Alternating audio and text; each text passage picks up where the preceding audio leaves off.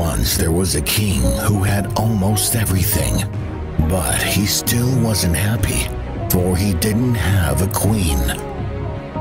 The wise men suggested that he issue this command Let a search be made in every corner of the land. Who knows, perhaps you have to come to your royal position for such a time as this. For such a time as this.